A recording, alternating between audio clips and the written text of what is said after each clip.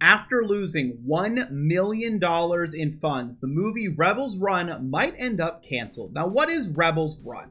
Rebels Run is based off a comic by Vox Day, and the hero appears to be Confederacy themed.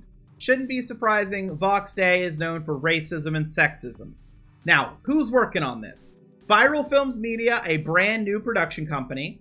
Uh, Scooter Downey was directing the trailer, at least from the sounds of it. They worked with Mike Cernovich before and Tucker Carlson. So they got a million dollars. Like, they were able to get a million dollars to work on this movie. But then they need to bank it. And you can imagine financial institutions might not want to work with them.